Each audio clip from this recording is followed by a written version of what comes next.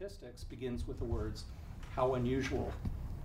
And then you, you continue, how unusual is it that we saw this? I've been here at Oberlin College for 19 years now in a teaching role. I started off as a student here in 1981. Uh, I came in thinking I would do something in the conservatory or possibly do something in creative writing. Uh, I had always been good at mathematics, but at that time I didn't think it was really possible uh, to be creative in mathematics. But I just kept taking mathematics while I was a student here, and eventually I found a class that just resonated with me, and I and I loved it. It was a class uh, in optimization, and uh, I ended up going to graduate school, um, and then ultimately returning here to teach. And I've specialized in this field, optimization. It's the branch of mathematics that deals with optimal performance, and what makes it both challenging and incredibly useful is that we all face difficult tasks routinely. Looking back, I've always been an optimizer. If I have a bunch of errands to run, in what order should I do those errands so that I end up with as much free time as possible? I began a love affair of sorts with the um, algorithms that are used to solve these problems, and I became obsessed really with trying to uh, find new and interesting applications uh, of the subject. I guess seven or eight years ago, I did my first example of using optimization to create pieces of visual artwork.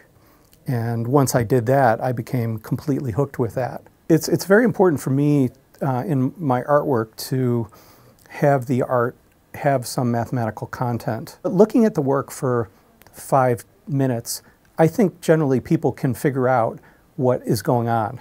With this piece behind me, uh, the title of the piece is Knot with a question mark. It's spelled K-N-O-T. It's based on a Celtic knot image.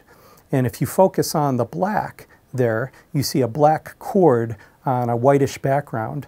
And the black cord uh, is interlaced. If it were made out of cord, you couldn't unknot it. But if you take a look at this piece, you focus on the white line, and you trace that around, you find that you can follow it all the way around to where you started, and that white line has never crossed itself. It's what mathematicians call a simple closed curve, a Jordan curve, which is topologically equivalent to uh, what we call the unknot, just a plain circle. So where did the knot go? That's, that's why it's titled knot with a question mark. The way this whole thing was constructed was using uh, optimization and in particular something called the traveling salesman problem. So I create an image that I'm interested in replicating. I need to convert that image into a collection of dots. It's called a stipple drawing.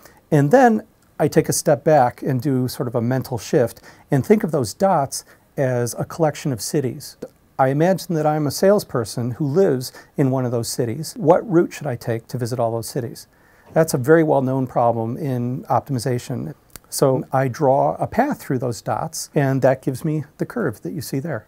Recently, I've been exploring using other media as well with the simple closed curves. In the last year, it was very satisfying for me to have someone who's viewed as a, a, hardcore, serious optimization researcher. He invited me to create a series of TSP art uh, instances for traveling salesman problem researchers to work on as challenge problems. So right now, there's, uh, for about a year now, uh, researchers throughout the world have been working on what's called the Mona Lisa TSP challenge, done with 100,000 dots. If they succeed in finding a provably optimal tour, they will have set a record for the largest traveling salesman problem ever solved to optimality. And then you can print that as a picture of And then I could print it, yeah, yeah.